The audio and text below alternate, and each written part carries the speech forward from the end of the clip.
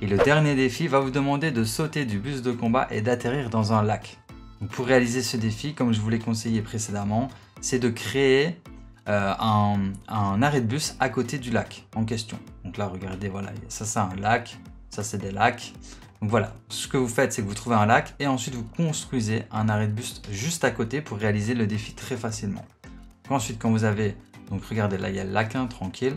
Donc ensuite, quand vous avez créé votre arrêt de bus, vous faites un voyage rapide vers le même arrêt de bus. Parce que oui, c'est possible, vous pouvez faire un voyage rapide vers le même arrêt de bus que vous êtes en train de demander un voyage rapide. Donc là, je sélectionne l'arrêt de bus qui est à côté du lac, je fais confirmer et monter à bord.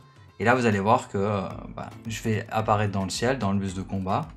Ensuite, je vais tout simplement sauter du bus de combat et je vais atterrir dans le lac. Alors, pour être sûr que je suis bien au-dessus du lac, là, regardez, quand j'ouvre ma carte, on peut voir que je suis bien au-dessus. Je vais même mettre un petit ping, mais bon, bah, voilà, je vais pas pouvoir me, louper. Regardez, le lac, il est juste en dessous. Alors, si je, vais, si je vous ai conseillé de mettre un arrêt de bus euh, à côté d'un lac, c'est parce que quand vous sautez du bus de combat, vous ne pouvez pas ouvrir votre planeur.